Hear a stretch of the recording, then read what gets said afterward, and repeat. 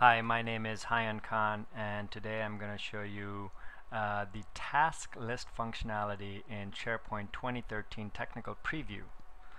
So here I am actually at a root level site called Team Site and I'm in the View All Site Contents page and I'm just going to click New Subsite because I'm going to first create a new subsite and call it the New Team Site and just to show you I select the team template the same way and create the site. Oops add the name of the site, go ahead and create a new team site.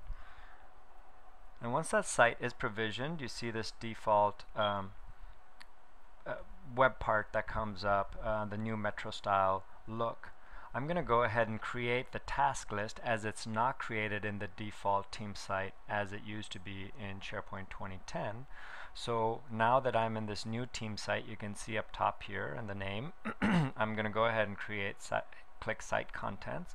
I'm going to add an app. This is a new concept in SharePoint 2010. So instead of lists and libraries, everything is now an app. And you'll be able to even download stuff from the App Store. More on that later. I'm going to go ahead and find, these are all the different apps that are available. I'm going to go ahead and find uh, anything that has the name tasks and sure enough there's a task list template there I'm going to go ahead and click that so I want to use it and then just say call it tasks also so that's my new tasks list now on the left menu I can see under recent there's a task list so when I click it I am taken to the task list all items page now this is a new look and feel for the task list and I'm really excited about this. The first thing that you'll see is that there's a timeline view here.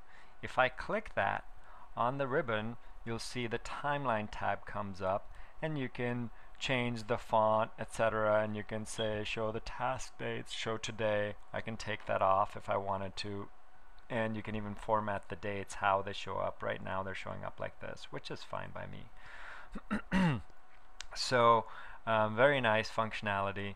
And here, uh, the entire look, obviously, for 2013, as you've noticed by now, is uh, very new. Um, and the add new item or going to the edit list are right up top here.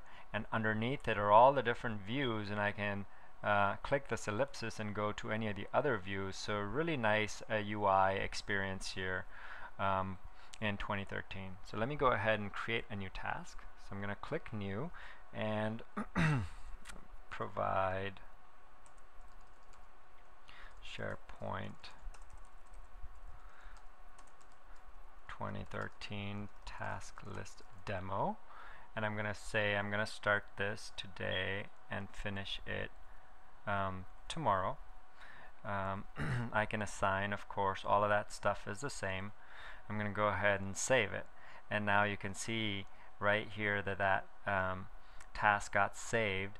Um, one of the new things is this ellipsis again here and when I click that it's instead of that chevron drop down that you saw now there's this ellipsis and uh, you can uh, do a few things. First of all you get to see the URL right away so that's really nice. It's even telling you when it's due. It's due tomorrow. I can open this. I can add it to the timeline so let me go ahead and add it to the timeline. Right there you see provide SharePoint 2013 task list demo I can remove from type timeline or I can create a subtask. I can even further find out more stuff about this of the view item and permissions and so on. But I'm going to go ahead and create a subtask Now this is slightly different than in SharePoint 2010 where you really had folders um, in the project task list you had the folders that sort of did this, but this is very nice and clean. So um, the first thing is record the demo, then um, publish on YouTube, and then uh, tag it. So as you can see, I just created three sub-tasks here very fast, very easily. I'm going to go ahead and give them some um, timelines too. I can of course open the entire item and I can say um, do this today and I'm going to also finish it today. and I can now of course do the same thing here with the second task um, but you saw that view I had, that Gantt view where I could, or this datasheet view where I could add stuff very easily.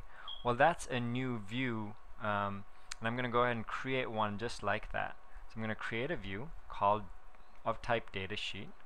Now this datasheet view is very different from uh, in SharePoint 2010 because I don't need um, Office or uh, Microsoft Access installed whereas in the last version you did.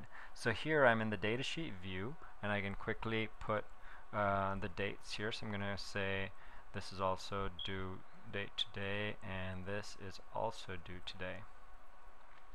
And if I wanted to complete that task, I just click that and that task would be completed. We go ahead on all tasks and you can see that that task is completed just by checking that off. if this task's deadline I'll make that yesterday. So let me go ahead and go back and say that uh, publish on YouTube, the time, the due date was yesterday. If I did that, it's, um, what you'll see if I didn't complete this is that um, it would show in red, show up as yesterday in red. So it's a nice way of just seeing um, what's going on. also, when I cl uh, click, uh, let me just show you when I have not done anything, the percentage complete is zero and the task status is not started. Um, and if I just check this, what will happen if I uh, open this is that the, the percentage complete has been set to 100 and task status to completed. Whereas in 2007 you had to manually do both of those steps just to complete a task. So it's definitely uh, designed around um, users to work fast with this. Um, it's it's really done well. Um, I want to show you, um, I think I showed you create a subtask feature here, but you can also just check this and go into list here, or rather task here, and indent this task. So let me, if I wanted to make the tags a subtask of the publish um, your video, just like in Microsoft Project, I can do that. Um, so very nice. I can also show all tasks, etc and here I'll just stop editing.